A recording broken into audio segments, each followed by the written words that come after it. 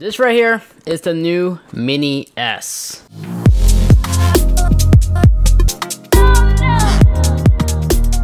Now last year we did went ahead and take a look at the Mini-MI and compared it with the DJI Osmo Mobile 2. And to the most part, that older gimbal was great, but it was the application that was holding it back from being the best value gimbal last year. But is this newer one better than that one? Let's go ahead and find out. Now the Mini-MI last year was the cheapest, as that one used to retail for $100, while the DJI Osmo Mobile 2 still retails roughly around 100 to $150. This one, on the other hand, this one retails at a new low of $79 US. That is half the cost of the DJI Osmo Mobile 2. So let's go ahead and find out what do you get if you go with the Mini S over the Osmo Mobile 2. So first, let's go ahead and talk about its specs for the new Mini S. So this gimbal is listed to have a battery life up to 8 hours, which is more than enough juice to make it through any kind of recording session. And takes about an hour and a half to charge it back up. It's listed to support a maximum payload up to 260 grams. That is 20 grams more compared to the DJI Mobile 2. But the DJI Osmo Mobile 2 has a larger battery as that battery can last up to 15 hours under a single charge, but takes 1 hour longer to charge it. So out of the box, just like the Mini-MI, this one also includes this little mini tripod which is really awesome because it's so small and universal. You can, you can use it on other camera equipment you may have that has the same thread. The little feet down here, they have grip so you can place it on any flat surface. So one of the unique aspect of things about this new Mini-MI is that it's foldable.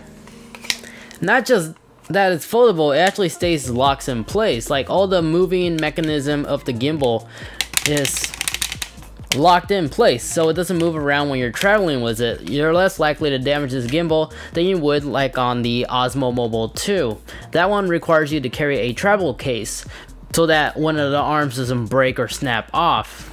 And then when it comes to setting up the gimbal, it's really easy as there's no need to unlock certain locking positions like other traditional gimbals normally require you to. This one, you simply just place on your phone, move it a bit, slide it until it's perfectly balanced, power it on, and you notice that the gimbal will automatically self-balance itself.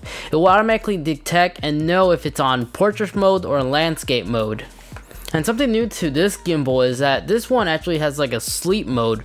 For example, when you when your phone is equipped and it's not in use, if you tap on the little red button, it will power off the gimbal, but the gimbal is still on. It's like on sleep mode. So if you move to another location or you're switching your phone from landscape mode to portrait mode, you could do that without requiring you to fully turn off the gimbal. And then once everything is set, simply tap on the power and the gimbal wakes back up.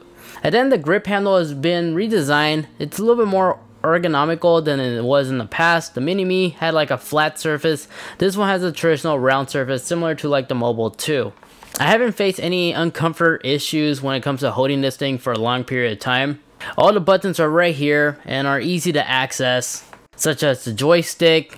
With this, allows us to move the gimbal any position that we like. The center wheel is where you find your shutter button. And then you also got some button shortcuts on this little circle wheel. The bottom one, if you double tap on it, it will enter the gimbal to be in sport mode.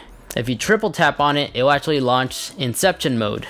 Now, I was a bit disappointed when I found out this gimbal doesn't fully rotate 360 like the other gimbal did. The Mini-MI was able to fully rotate to a full 360, this one doesn't. So when you activate Inception mode, you have to go really smooth because if you go really fast, you're going to ruin your shot. So Inception mode is a little bit tricky, it's possible, but it just requires a little more skill and practice.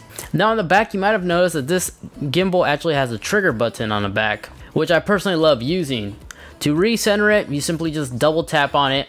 And if you want to lock the pan position to follow, simply just hold and then the gimbal will follow with your motion. That's really cool. Now on the right side, we also have some additional controls. This is where we find our zoom in and zoom out functionality which works like this. When you launch the companion app, the zoom function zooms in really smoothly and you could actually zoom in a lot than I was expecting. So the overall design of the application, the companion app, the layouts are very clean and jam-packed with a lot of shortcuts on this little screen. On the top left hand side you can see both your battery for your phone and the gimbal. And then on the right side, you can actually select on the resolution you want to record at. It has all the popular resolutions to choose from, so feel free to pause the video to check the entire list. And just like any other gimbal, this also has all the popular features as well, such as tracking mode, time lapse, advanced time lapse, which is basically motion time lapse, and you also got manual settings, and you also have filters if you like those. And then the gimbal settings itself, you have full control of the zoom speed if you wish to readjust that, recalibrate the gimbal if you find out it's acting funky, and you can manually disconnect it when it's connected to your Bluetooth. And when it comes to shooting time-lapse, this gimbal does a fantastic job in doing so as all those shots look fantastic. Motion time-lapse look really cool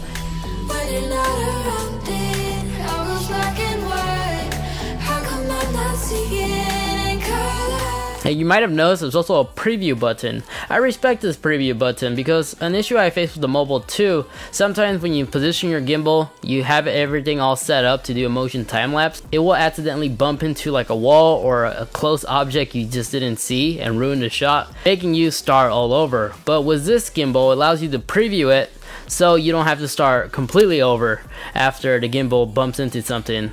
So I appreciate them having the preview option, allowing you to see the motion before it actually does start recording. But here you have full control of the shutter intervals and the duration time limits you wish to set it. It doesn't show you the length of the clip with these settings equipped. For instance, I got used to the Osmo Mobile where it will actually give you the estimate time with the settings that you have. So for example, if I adjusted to this amount, it's going to give me a 30 second clip. This one, you don't get that information. You have to rely on your experience to know if this 5 minute clip is not going to turn into a 5 second clip. Now when it comes to his tracking capabilities, Moza definitely did step up their game compared to the Mini-MI. The Mini-MI was awful when it comes to tracking. This one has been significantly improved, but it still isn't perfect. To the first 30 or 50 seconds or so of just tracking me for instance, it did a really great job keeping track. But there was actually quite a few times where the application would crash entirely. Or the gimbal would just lose track of me and cause it to haywire like this.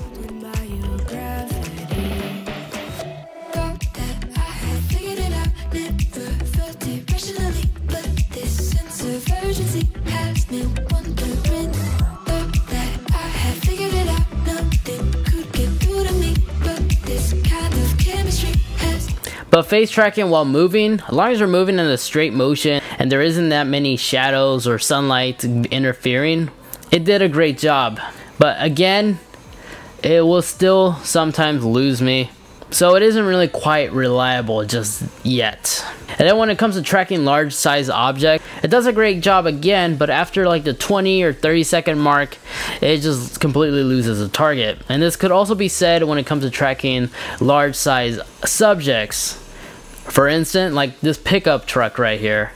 We targeted on its larger side, but as soon as we went to its narrower side, the camera had a hard time recentering it once we went back to that same side. So although this application supports the many different resolutions, I don't think it's fully optimized to work with iPhone iOS. I noticed on my iPhone 10 when I was shooting at 4K at 60 FPS, on the viewfinder I noticed the footage was turning out to be really choppy. Just simply moving my hand in front of the camera, you notice there's a huge latency and delay. So to prevent this, I would just record using the standard iOS camera app on my iPhone. Because even after I was done shooting that video, the clip still ended up to be choppy. I thought that was just a viewfinder, but no, that was actually the recording footage that got choppy as well. So for best results, I would just stick with the native camera application. But after reviewing the footage that this Mini S was able to shoot, I was actually quite surprised how smooth the footage came out to be. It looks almost identical to the Osmo Mobile 2. Honestly, I can't even tell the difference if I didn't label these. Even while walking down a very steep hill, the footage still came out to be respectfully smooth and usable for video production. However, I did notice when I was recording on portrait mode, for instance, back part of the gimbal was actually being picked up by the camera. No matter how high I raised up the phone, this part of the gimbal will still show up in the footage. But when back on landscape mode, there isn't any interference issues whatsoever.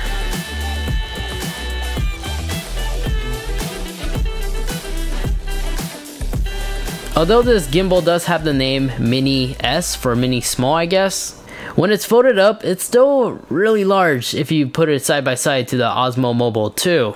And when you unfold it, it's even taller and a little bit wider if we compare the two. But when it comes to traveling, I do like how everything locks into place on the Mini S as it's safer and you're less likely to damage it when you just throw things in your bag. Unlike the Mobile 2, with that gimbal, as soon as you store it away or put it back in the case, you have to rebalance it again in order for that gimbal to be stored away. With this one, there's no need to do that. And when it comes to charging this gimbal, this gimbal actually is using the current USB-C connection compared to the other gimbals out there in today's market as they're still most likely using micro USB. It's good to know that this one's already on the USB-C trend.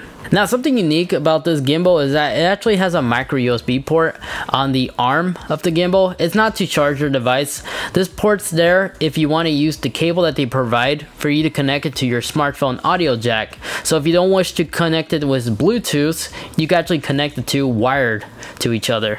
So I guess if you have a non-supportive device or you're just trying to preserve some battery life, I guess you could hardwire the two devices to each other for them to both communicate. Now what else is included besides the manual and the cables is this traveling pouch. They don't give us a case like the other one did. The Mini-MI came with like this cool carbon fiber case, but honestly, since this thing locks into place, I don't think there's a need to really have a case for this thing. Now something that made the Mini-MI special that they removed on this one it does not wirelessly charge your phone. And although the port right here is exposed for our cell phone to charge on the go if we ever need to, but for some reason on my iPhone 10 I cannot seem to activate the recharge mode. So even though I could plug it into the USB port using the USB-C to lightning port adapter cable that I have, it doesn't charge my iPhone. I don't know if this is just an iOS thing, but I'm unable to charge it. If I figure it out, I'll comment down in the comment section and pin it and let you guys know. But so far, I was unsuccessful to charge my iPhone on the go with this thing. So that was disappointing. But still, for being a $79 gimbal, the structure, the build quality, it was very durable. The foldability makes traveling with this thing really convenient. So because of that, for $80, I mean, this is a great value for a gimbal.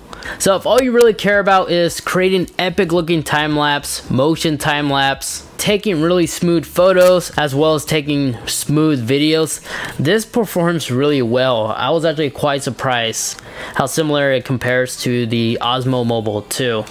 But the Moza app still needs some improvement, so uh, just when it comes to recording, I'll rely on the iOS app than the Moza app. The Moza app still needs some improvements because the official app is less likely to crash on you. But that's gonna be it for this video. If you guys found this video informative, useful, you know what to do. I'll greatly appreciate if you could leave this video a big thumbs up, as that lets me know, but that will also strongly help support the channel. And if you plan on picking up this gimbal for yourself, make sure you use our affiliate link in the video description down below. It doesn't cost you anything more. All it does is just sends a kickback to the channel, which those funds goes towards the equipment and the audio gear that you see here for this channel to improve and give you the best quality content I can. So if you can, I'll greatly appreciate if you could use that link. But that's going to be it for this video. Once again, thank you so much for watching. Take care, and I'll see you in the next one. Peace.